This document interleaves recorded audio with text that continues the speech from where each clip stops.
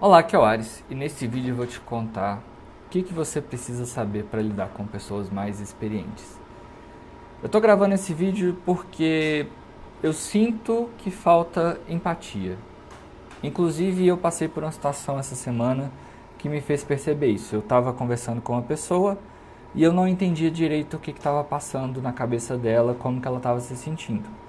Isso gerou um desentendimento, gerou uma situação razoavelmente desagradável e eu tô gravando esse vídeo justamente para te alertar e para tentar te ajudar a não cometer o erro que eu cometi, certo? A primeira coisa que você tem que saber é o seguinte: se tem muito tempo das suas primeiras experiências, muito tempo que você viveu alguma coisa, provavelmente você vai ter alguma dificuldade de empatia, de entender o que, que a pessoa que está vivendo aquilo pela primeira vez está sentindo. Você lembra quando que foi a sua primeira sessão? Não sei se tem dias, meses, anos, enfim. Só que quanto menos tempo tem, melhor você vai se lembrar dela. Isso é fato. A nossa memória tem uma capacidade limitada, então a gente esquece. E você provavelmente vai lembrar mais fortemente das emoções que você sentiu. No meu caso, a minha primeira sessão tem, sei lá, 11 anos. É tempo pra caralho. Eu conheci uma submissa, a gente começou a conversar e nós marcamos de nos encontrar no shopping, no Minas Shopping, aqui em Belo Horizonte. O que, que aconteceu? Até o dia de encontrar eu fiquei ansioso. Encontrando com ela, a ansiedade diminuiu um pouquinho, só que eu não tinha acessórios e ela tinha. Eu estava ansioso do que, que podia acontecer na sessão. Uma forma de lidar com essa ansiedade foi ver os acessórios que ela tinha levado. A submissa tinha os acessórios, eu não. E eu conversei bastante com ela. A gente alinhou as expectativas e a gente teve uma sessão que foi bem legal a primeira vez. Ela já tinha mais experiência, eu tinha lá curiosidade, mas eu estava tentando ali entender direito como que funcionava jogando e eu estava observando muito. Então, eu não fiz nada de errado. Eu só joguei, fizemos um spanking, transamos, foi bem legal e foi isso. Foi uma sessão relativamente simples e com mais foco em sexual. Quando você teve a sua primeira sessão, provavelmente você ficou ansioso da mesma forma que eu fiquei. A gente fica imaginando o que, que vai acontecer, será que vai doer muito, será que vai doer pouco, será que vai ter vela, será que vai ter chicote, será que vai ter corda, será que vai ter sexo. E a gente não sabe o que esperar, é normal, porque a gente nunca viveu aquilo. E o fato é, como tem muito tempo da minha primeira sessão, eu esqueci como que era estar ansioso e com expectativas para a primeira sessão. E eu errei com uma pessoa essa semana por isso.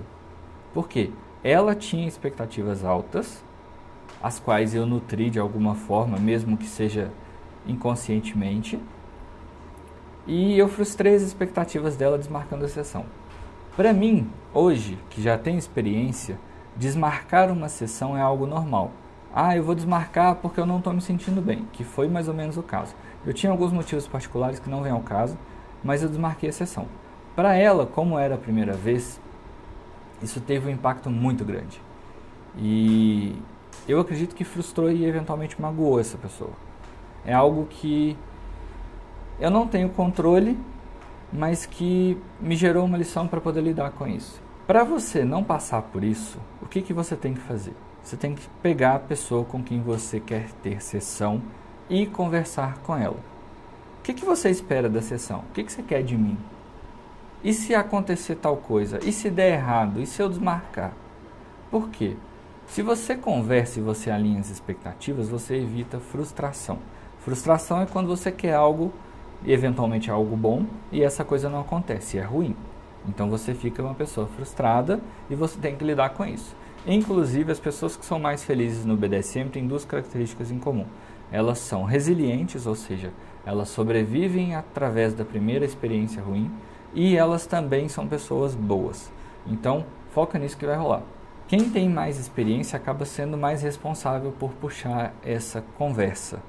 Eu, no caso, vacilei e eu não puxei essa conversa. Eu deixei correr para ver qual que era dela e eu queria testar também. Então eu fui um pouco babaca nisso aí, porque eu deixei correr demais, eu não guiei o processo e eu, como tendo mais experiência, tinha mais responsabilidade. Então você tem que alinhar a expectativa. Você tem que saber o que, que outra pessoa procura e entender bem isso para saber se ela está procurando aquilo mesmo, se você tem capacidade, se você quer oferecer aquilo. A segunda coisa é o seguinte: a primeira sessão nunca é para você se entregar completamente para a pessoa. A primeira sessão não é um filme da Disney que o príncipe encantado vai resgatar a princesa e vocês vão viver felizes para sempre. Não é assim. A primeira sessão serve para conhecer a outra pessoa. Você vai testar o peso da mão, você vai descobrir quais acessórios a pessoa tem, você vai descobrir se o que ela falava antes é real, ou seja, se as práticas que ela quer viver são o que ela vai realmente viver. Então, tem uma série de fatores que a gente espera para a primeira sessão que são condizentes com a ideia de conhecer a outra pessoa. Não é se entregar cegamente a primeira vez para a pessoa na primeira experiência. Não é assim que funciona. A gente vive no mundo real e a gente sabe que a gente tem que conhecer outra pessoa.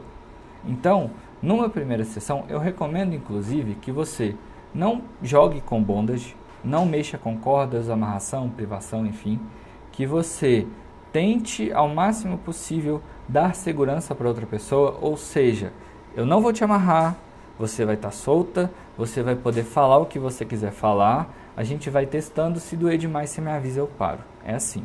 É o mais simples possível, o mais tranquilo possível para, na primeira sessão, você conhecer mais a outra pessoa. Não tenta fazer tudo na primeira sessão, porque você não nasceu prematuro, você esperou nove meses de gestação. Não precisa fazer tudo numa noite só, você não vai morrer amanhã. Tenha calma. Tem uma coisa também que é importante, é o seguinte. Usa o tempo entre o dia que marcou a sessão até o dia da sessão para conhecer os fatores psicológicos da pessoa. O que, que é isso? Tenta conversar mais, tenta entender as opiniões políticas da pessoa, tenta puxar algum assunto mais complicado, tenta saber se aquela pessoa é uma pessoa a qual você vai conseguir uma relação, um relacionamento que extrapola as sessões. Por quê? Um relacionamento só de tesão, só de sexo, ele é, ele não dura. Ele é algo que é limitado. Tesão baixa e na hora que o tesão baixar, o relacionamento acaba. E a gente não quer isso, a gente quer um vínculo mais profundo. Eu testo as pessoas vendo como que elas lidam com a frustração. Inclusive, se alguma coisa no que a pessoa te fala te incomoda, eu esperaria um pouco mais para marcar uma sessão. Se a pessoa falou alguma coisa machista e isso te incomodou, porque teoricamente é para te incomodar, espera. Traz algum outro assunto. Descobre o que, que a pessoa pensa daquilo. Pessoas ruins, elas provavelmente têm opiniões muito polêmicas sobre as coisas. Então, se você observar bem, ela vai se mostrar perigosa ou não para você. É até uma forma de se resguardar. Terceira coisa extremamente importante: se você está dominando alguém que se mostra mais experiente que você, é normal que você se sinta pressionado ou pressionada. É normal que você sinta um certo medo de ser avaliado ou de ser avaliada. E esse medo ele é saudável. Por quê? Se você está sentindo medo de ser pressionado ou pressionada, isso te tira da sua zona de conforto. Então, provavelmente, você vai se dedicar mais a errar menos. Ou seja, você vai ter mais cuidado na sua dominação no seu jogo para você não fazer mal àquela pessoa ou mesmo não decepcionar as expectativas daquela pessoa. Só que eu sei também que às vezes a insegurança trava. E como é que você lida com isso? Conversa mais, Entende quais são as expectativas daquela pessoa. Lembra da primeira dica? Então serve aqui também. Escuta o que, que a pessoa mais experiente tem a te falar sobre as práticas que ela gosta. Inclusive, pergunta também o que ela acha sobre as práticas que você gosta, mas que ela não mencionou. Por quê? Dessa forma, você vai aprender com ela. Entende que a pessoa também está ali querendo ser feliz.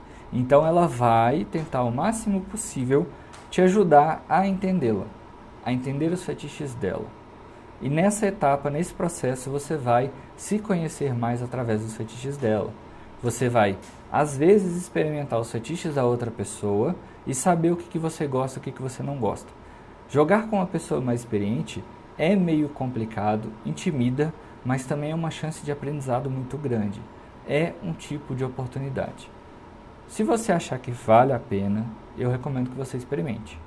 Se essa insegurança te travar muito, eu recomendo que você pesquise um pouco mais ou mesmo converse com a outra pessoa sobre a sua insegurança. Ela vai tentar te ajudar, com certeza. Faz o que você gosta. Não tenta fazer algo que você não conhece para agradar a outra pessoa. Ela está ali conversando, mas ela está te mostrando o que ela gosta. Vocês acham algumas coisas em comum, fazem aquilo. No primeiro momento, numa primeira sessão, quando você está conhecendo a outra pessoa, você não precisa de nada mirabolante. Joga o que vocês já conversaram, faz o seu fetiche, faz, faz o da outra pessoa e faz ser bom. Curte o tesão, curte o que vocês estão fazendo de gostoso, porque vai ser muito bom. A ideia é essa. Não tenta arriscar, não tenta fazer nada demasiado, muito grande para impressionar outra pessoa, porque não precisa. Real. Tem uma coisa sobre insegurança que é o seguinte: a gente se sente inseguro porque a gente acha que a outra pessoa vai estar tá avaliando a gente. Às vezes é o caso, às vezes ela está ali mesmo olhando assim para você, sabe? O que, que, você vai fazer agora? Quero saber o que, que você vai fazer. E tentando controlar a situação e tipo, não, não faz assim, faz assado e tal. Pode ser bom e pode ser ruim. Se te incomodar, eu recomendo que você controle o nível de controle da outra pessoa. Como que a outra pessoa te controla? Através de contato visual e através da fala. Ela vai te olhar mais te avaliando e esperando o que, que você vai fazer. Como que você lida com isso? Coloca uma venda nela. Você colocando uma venda na outra pessoa, você vai inibir o contato visual. Dessa forma, você não vai se sentir julgado e nem controlado.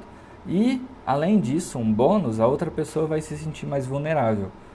Com ela mais vulnerável, ela controla menos e você se sente mais seguro para jogar com outra pessoa, entendeu? Uma outra técnica é usar uma máscara. Se você pega aquela pessoa super experiente, coloca uma máscara nela, ela deixa de ser uma pessoa super experiente e vira um brinquedo. Uma pessoa sem face, um objeto que está ali para o tesão. Fica bem mais fácil dominar uma pessoa assim. E se a pessoa está falando muito, avisa ela, ou oh, você está falando muito, você não quer brincar mais não? Aí a pessoa vai falar assim, ah, eu quero e tal, não sei o que. Então você fica calado porque do jeito que tá não tá rolando. Ou você vira para a pessoa e fala assim: Olha, você está falando muito, eu vou te amordaçar, tudo bem? Aí a pessoa vai falar assim: Ah, tudo bem. Ou ela vai falar que não e aí você para a sessão, vai embora, perde seu tempo não. Se a pessoa está ali para se entregar, para jogar com você, ela não cede esse controle, você não precisa perder seu tempo. Ela não quer ser dominada. Ponto. Resumindo, a pessoa que está jogando com você, independente do nível de experiência dela, ela quer jogo, ela quer tesão, ela quer uma brincadeira, ela quer que seja bom. Então, não se sinta intimidado. Tenta entender o que, que a pessoa quer, tenta entender o que, que você quer e troca. Conversa o máximo possível, alinha as expectativas e tenta o máximo possível ser bom para as duas pessoas. Mesmo que a pessoa esteja ali submetendo a você, ela quer uma experiência boa e ela quer te dar uma experiência boa. Então conversa mais, aprende com a outra pessoa e não fica fritando se sentindo intimidada, criando paranoia. Só relaxa, curte e goza. A ideia é que a sessão seja boa para todo mundo. Esse é o meu vídeo de hoje e eu espero que você esteja tendo experiências ótimas. Se você não tiver, tenta de novo.